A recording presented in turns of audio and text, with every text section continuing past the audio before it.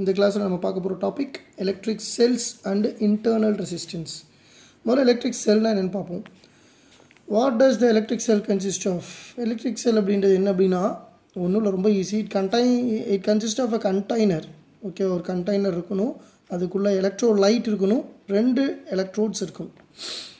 Elect container okay எலக்ட்ரோலைட்னா என்னங்க sir அப்படின்னா electrolyte it may be a liquid or dry electrolyte which is able to dissociate ions அயான்ஸை dissociate தனித்தனியாக பிரித்தெடுக்கிற ஆற்றல் உள்ள எந்த ஒரு திரவமும் அதை வந்து நம்ம எலக்ட்ரோலைட் அப்படின்னு சொல்லலாம் அதுதான் எலக்ட்ரோலைட்டுக்கான தகுதி.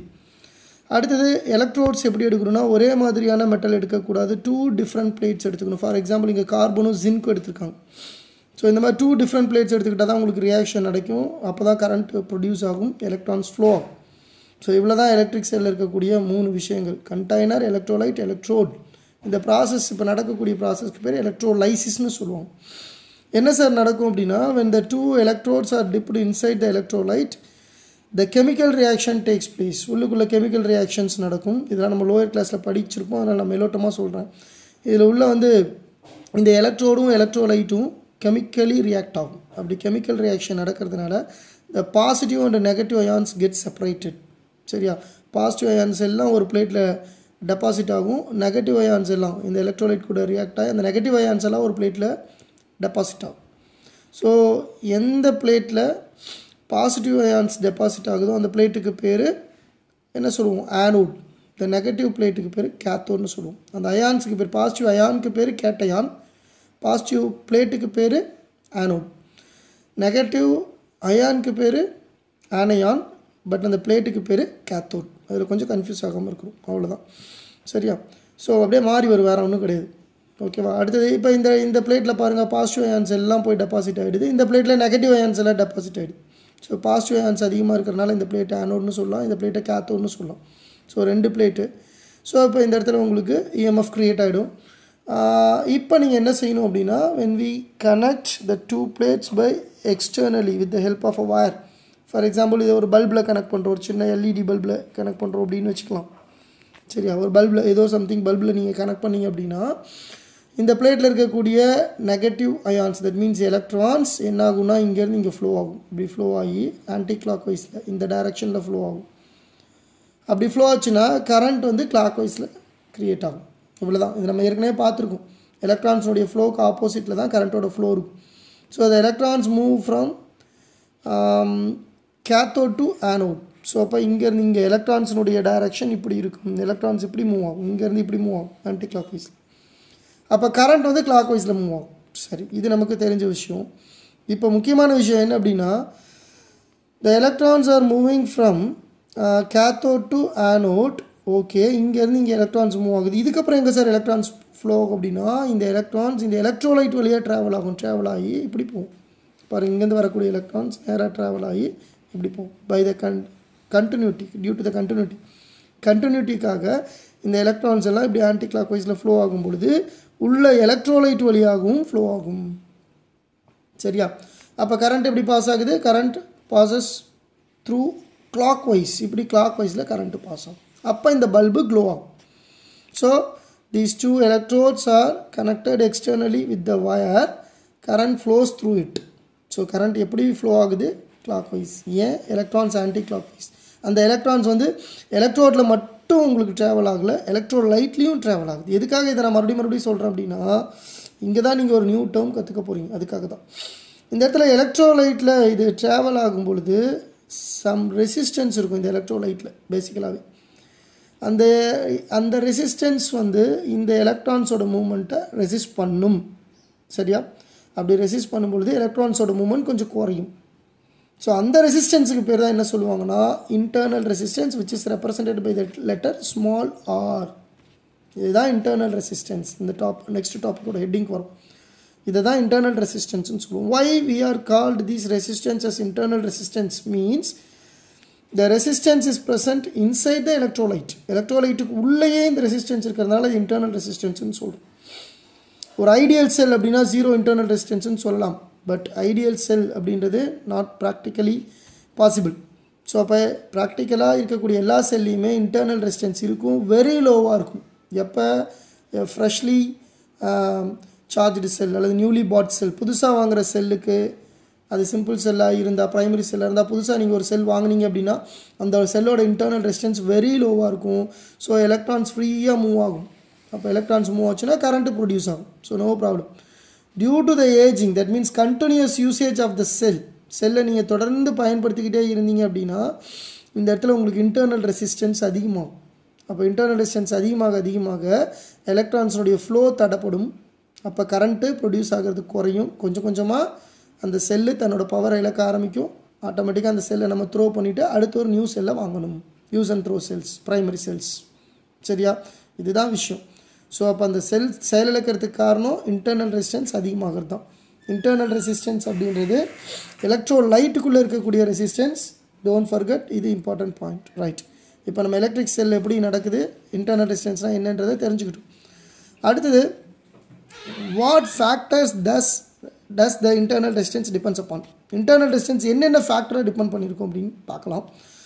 இன்டர்னல் ரெசிஸ்டன்ஸ் என்னெல்லாம் ஃபேக்டரை டிபெண்ட் பண்ணியிருக்கோம் அப்படின்னா internal resistance is nothing but it is one of the resistance so அப்போ ரெசிஸ்டன்ஸ்க்கான ஃபார்முலா நம்ம லோயர் கிளாஸில் படித்தது R is equal to rho A sorry rho L by A R is directly proportional to L and inversely proportional to A A for area of cross section equal to sign போடும்போது ஒரு constant introduce பண்ணுவோம். That is rho இந்த expression உங்களுக்கு ஏற்கனவே நிச்சயமாக தெரிஞ்சிருக்கணும்.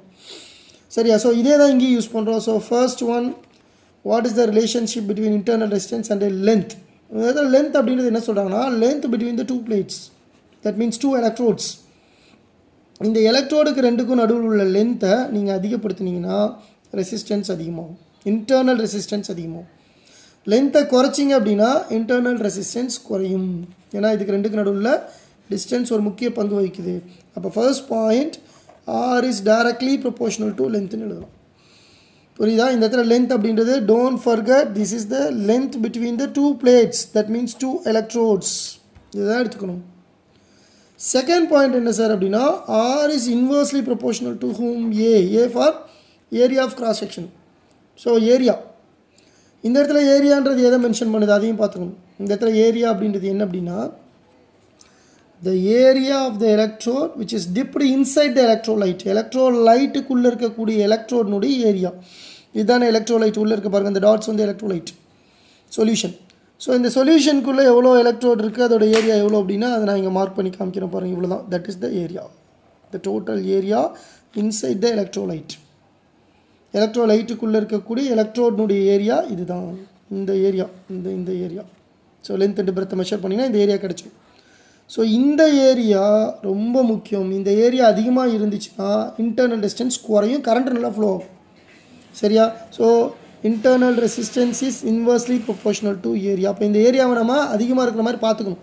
அதுக்கு நம்ம என்ன சார் செய்யலாம் அப்படின்னா ஃபார் எக்ஸாம்பிள் கார் பேட்டரிலாம் பார்த்தீங்கன்னு வச்சுங்களேன் இந்த எலக்ட்ரோலைட் குறைய குறைய அந்த எலக்ட்ரோலைட்டை மிக்ஸ் பண்ணிக்கிட்டே இருப்பாங்க.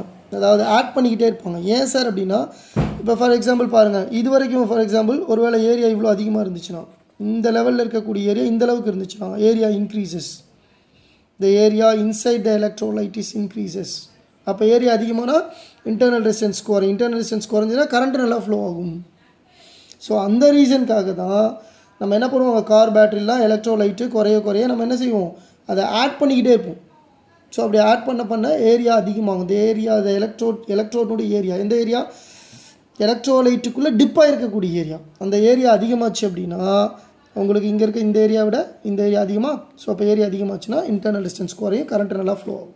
That is the second point third third factor which affect internal resistance யார் சார் அப்படின்னா கான்சன்ட்ரேஷன் சொல்லலாம். கான்சன்ட்ரேஷன் இந்த எலக்ட்ரோலைட்டோட கான்சன்ட்ரேஷன் ரொம்ப முக்கியம்.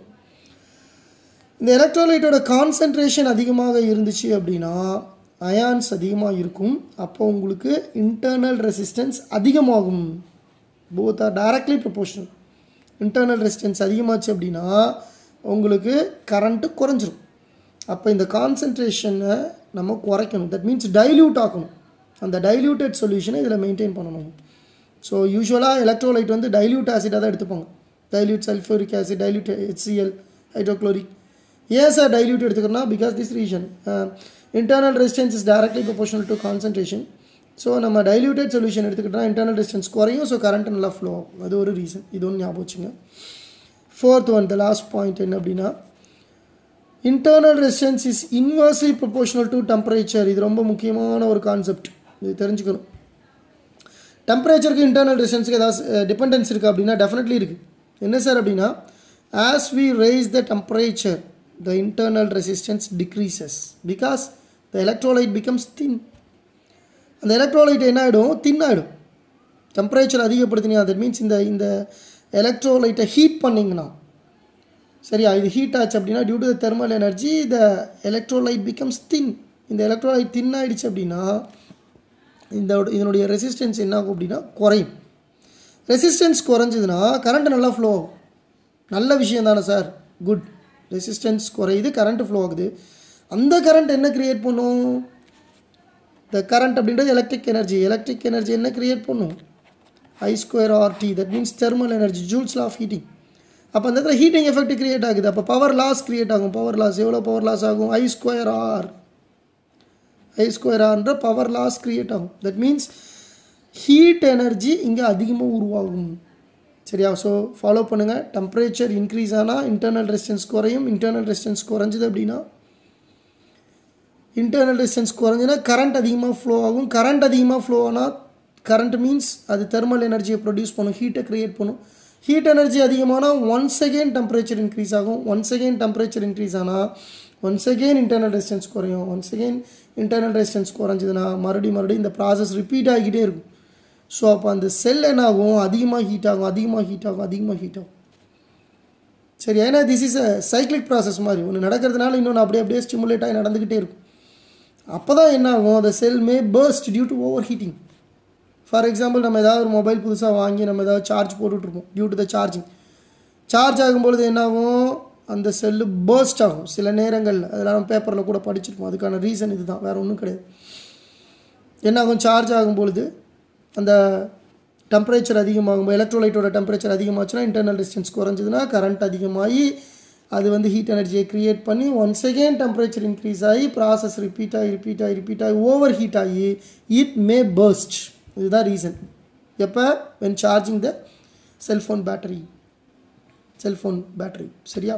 ஸோ இந்த மாதிரி ரீசன்லாம் இருக்கலாம். ஸோ அதனால தான் இது சொல்கிறாங்க இது இதுக்கான ரீசன் இது. That that is internal resistance is inversely proportional to temperature அப்படின்னு சொல்லலாம். அப்போ இது எப்படி சார் மெயின்டைன் பண்ணுறது இப்போ ஃபார் எக்ஸாம்பிள் கார் பேட்டரிஸ்லாம் கூட பார்த்தீங்க அப்படின்னா இது எங்கே வச்சுருப்பாங்க அப்படின்னா இந்த car batteries are maintain at perfect ventilation ventilation நல்லா இருக்கிற மாதிரி வச்சுருப்பாங்க. ஏன்னா வென்டிலேஷன் நல்லா இருந்துச்சுன்னா டெம்பரேச்சர் இமீடியட்டாக ரைஸ் ஆகாது.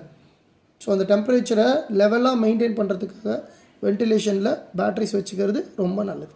So these are the four factors which affect internal resistance of the cell resistance internal resistance is directly proportional to length inversely proportional to area directly proportional to concentration inversely proportional to the temperature temperature of the electrolyte சரியா so இந்த கிளாஸில் electric செல்ஸ்னால் என்ன internal ரெசிஸ்டன்ஸ்னால் என்னென்னு ஓரளவுக்கு நல்லாவே புரிஞ்சிருக்கணும்னு நினைக்கிறேன் இந்த internal ரெசிஸ்டன்ஸை எப்படி சார் நம்ம சர்க்கியூட் டயக்ராமில் காமிக்கிறது இப்போ பாருங்கள் this is the positive terminal that means positive electrode இது நெகட்டிவ் எலக்ட்ரோன்னு வச்சுக்கலாம் சரியா இப்போ இன்டர்னல் ரெசிஸ்டன்ஸை தனியாக நம்ம காமிக்கிறதுனாலும் காமிக்கலாம். The internal resistance of the cell is drawn by இப்படி போடலாம். இது ப்ளஸ்ஸு இது மைனஸ் விச் ப்ரொவைட்ஸ் இஎம்எஃப் சரியா? இன்டர்னல் ரெசிஸ்டன்ஸ் இங்கே. இதோட பாயிண்ட் என்ன? இது ஏ இது பி இப்போ இது ரெண்டும் சேர்ந்தது தான் சார் செல்லு இது ரெண்டும் சேர்ந்தது தான் செல் அப்போ நம்ம என்ன செய்யலாம்? ஒரு பாக்ஸ் போட்டு ரெண்டையும் கனெக்ட் பண்ணிடலாம். ஒரு பாக்ஸை போட்டிங்கன்னா ரெண்டும் கனெக்ட் ஆகும். பாருங்கள் so this is the circuit diagram அல்லது simple for cell with internal resistance செல்லுக்கு இன்டர்னல் ரெசிஸ்டன்ஸ் இருக்குது கொஞ்சம் ஹையாக இருக்குது அப்படின்னா நம்ம இந்த மாதிரி சர்க்கியூட் டயக்ராம் ட்ரா பண்ணி காமிக்கலாம். சிம்பிள் ட்ரா பண்ணி காமிக்கலாம். இது ப்ளஸ்ஸா இது ப்ளஸ் இது மைனஸ் இது ஏ இது பி இது ஒரு ரெண்டு இன்னொரு ரெண்டு இது.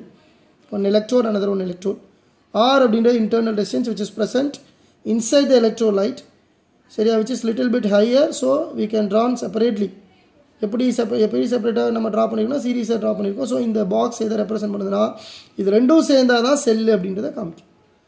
Sir internal resistance is very low sir இதை நம்ம தனியாக காமிக்கணும்னு அவசியம் இல்லை சார் அப்படின்னா நம்ம ஆஸ் யூஷுவல் டைக்ராம் ட்ரா பண்ணிக்கலாம். ஒன்றும் பிரச்சனை இல்லை. ஒரு ப்ளஸ் ஒரு மைனஸ் ஸோ அப்போ இது ரெண்டு இருந்தால் அதுதான் செல் ஸோ இது போதும். ஏன்னா if the internal resistance is very low அப்போ நம்ம தனியாக ட்ரா பண்ணி காமிக்கணும்னு அவசியம் கிடையாது. சரியா? இந்த டைக்ராம் யூஸ் பண்ணிக்கலாம். இன்டர்ன் ரெசிஸ்டன்ஸ் அப்ரிஷியபிளாக கொஞ்சம் அதிகமாக இருக்கும் அப்படின்னா நம்ம இதை யூஸ் பண்ணிக்கலாம்.